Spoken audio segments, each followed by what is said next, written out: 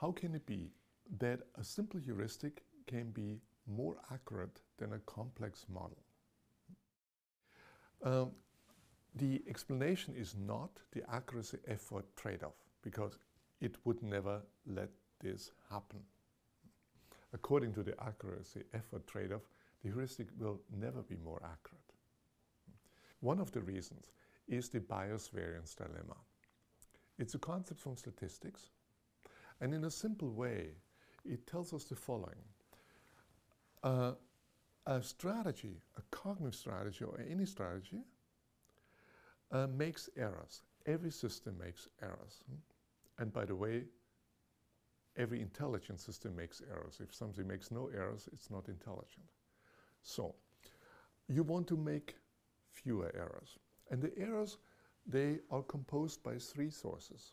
One is the so-called measurement error, unavoidable error, noise. And then there's bias, and then there's variance. Usually, psychologists only look at bias and think that if someone has a bias, that's a bad thing. Now, in the statistic theory, what is a bias? Assume there is a true function in the world. And uh, your cognitive model has another function. Maybe the true function is a, a parabola and your model is a line. Huh? And the difference is the bias. But there is a second source of error, which is called variance. So if your model, that may be a cognitive model or a statistical model, has a number of free parameters, your final estimate will depend on what sample you got out of many samples. If you take all the samples and all the possible solutions, then the variability around uh, the mean, which is the bias, the mean, is called variance. So you, and variance contributes also to error. So in simple terms, you want to have a cognitive system that is not totally flexible. It's not like a neural network which can learn everything and is dependent on the specific sample you got and will be very surprised by the next one if it has to predict and gets a nervous breakdown. You want a system that can learn to some degree, so uh, create some variance, but also have a bias. That means it cannot learn some things. And, uh, and this is the real question about cognition. So how can I have enough and also the right bias hmm, to have a good chance to be successful and also have enough flexibility to learn a little bit? But it is an error to think that an unbiased mind yeah, would be the best one. The mind here meaning that can learn everything.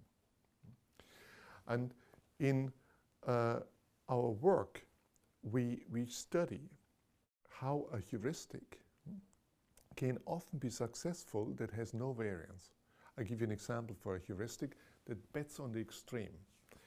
So if you have a, assume you have too much money and you want to invest it in n, number n of options. And you don't want to put everything in one basket, but diversify. But how? Harry Markowitz got the Nobel Prize for the optimal solution called the mean variance model. And here the mean means you want to uh, maximize the gain and to minimize the, the variance with the risk. When Harry Markowitz made his own investments for the time of his retirement, he relied on this optimization model, so we might think, no, he didn't use his Nobel Prize winning method, but he relied on a very simple heuristic. It's an intuitive heuristic. Invest equally. If, if n is 2, 50-50. If it's 3, a third, a third, so on like this. This is a method that is not only uh, simple, but in a number of studies came out better, making more profit than the mean variance model. In, again, in the uncertain world, in the real world, as opposed to the world where the assumptions hold.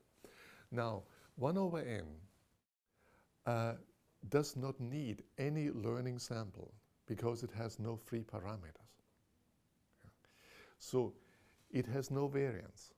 So it doesn't suffer from any error introduced by too much flexibility. It has only bias. Here's an extreme heuristic. Take the best is a heuristic that has one thing to learn if it's not genetically fixed, yeah, which is the order of cues. That's it.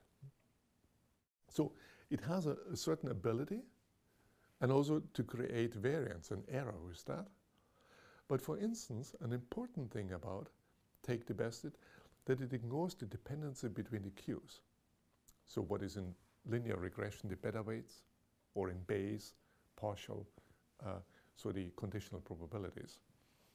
And that also helps these simple heuristics in many situations to be more successful than the methods would take this in account.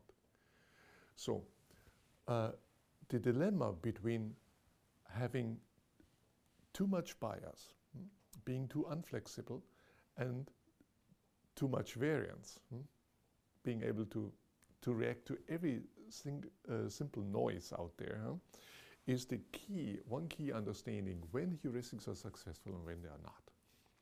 And it also holds to understand when multiple regression or Bayesian rules, Bayes rules, or any complex system is successful or not. It's much more general.